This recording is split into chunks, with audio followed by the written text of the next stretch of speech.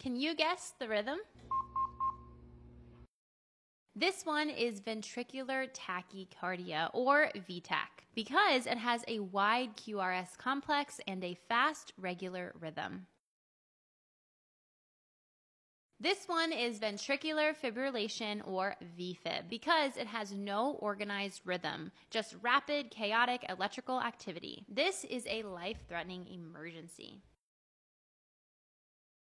This is atrial fibrillation or AFib because it has no P waves and the rhythm is irregularly irregular. The atria are quivering instead of contracting effectively, which can lead to clots or even a stroke. This one is normal sinus rhythm. It's nice and steady. We have a P wave before every QRS and a normal rate.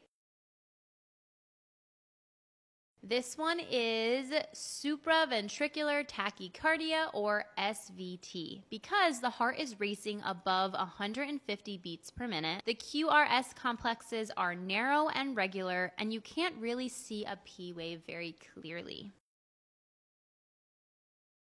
This one is asystole, also called flatline. There's no electrical activity going on. You would want to start CPR immediately.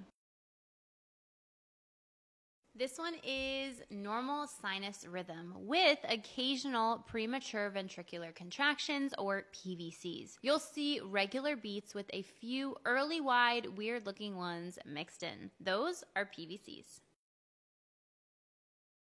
This one is sinus bradycardia. We have a nice normal PQRST wave, just really slow. The rate is less than 60. Let me know in the comments how many you got right. Happy studying, future nurses.